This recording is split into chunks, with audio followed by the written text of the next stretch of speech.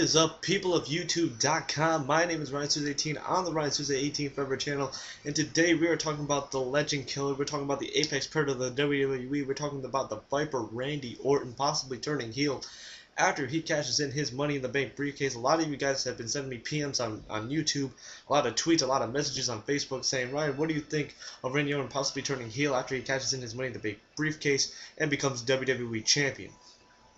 Um, like I said in the past, um, you guys can look at my previous video as I talked a little bit about um, an Orton heel turn. I also mentioned it in my Money in the Bank uh, 2013 review.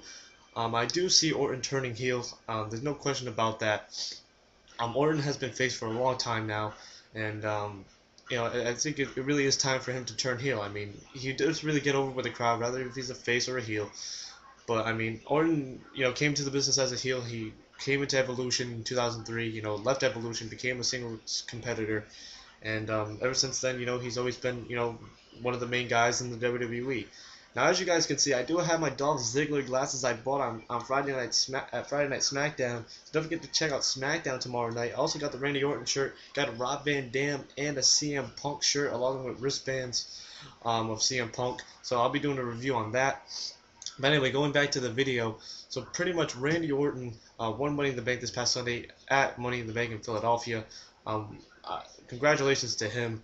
Um, you know, I do feel bad for him going through that divorce uh, with his wife. Um, but that's not really the point of the video. The point of the video is, you know, him turning heel. Now, Orton, you know, as a heel, had tremendous food, feuds with a lot of superstars, uh, such as Randy Orton, The Undertaker, um, Batista, Triple H, a lot of those guys. I mean, one hell of of, a feud with all, all those guys. Um, and um, Orton has a face. I mean, he still gets over with the crowd. Uh, I'm sure when he turns heel, a lot of people will still like him. I doubt no one will boo him, um, boo him unless you know you're a John Cena fan or you just don't like Randy Orton. Personally, I do like Randy Orton. I, that's why I bought the shirt. I mean, it's the RKO Strike First uh, T-shirt, which is also available on WWEShop.com. So don't forget to check. Don't forget to buy that. Pretty cool shirt. But anyway, um, and don't forget to check out Friday Night SmackDown. But anyway, um, Randy Orton, I do see him turning heel. Um, there's no doubt about that, like I said earlier. Um, he will become WWE champion. I don't see WWE doing what they did with John Cena last year, having Orton say it a, a week prior and then Orton and you know Cena go at it. I do see Randy Orton, and Orton did announce on Monday Night Raw that he will not be doing the same mistake that Cena made last year um, you know, saying that, oh yeah, I'm going to cash in the Money in the Bank next week, and it's going to be a one-on-one match. You know, it's to be a nice, fair match. Like, no, the Money in the Bank briefcase, you, it's yours. You have the right to cash in whenever you want. But smart thinking is you do it when your your opponent or the WWE champion or World Heavyweight champion is very vulnerable and can't really get up to their feet, and that's when you do it. You don't do it the way John Cena did it, and he lost his chance. He lost his chance to become WWE champion, and um, it was already rumored before that he would, you know, cash in and then lose to CM Punk, and then of course CM Punk would go on to have a 434-day uh, WWE title reign. Um, but Randy Orton, I do see him becoming WWE champion. I can't wait to see you know, how he looks. I don't know if he's going to change the uh, side plates on the belt or if he's just going to go with the original look that's on WWEShop.com.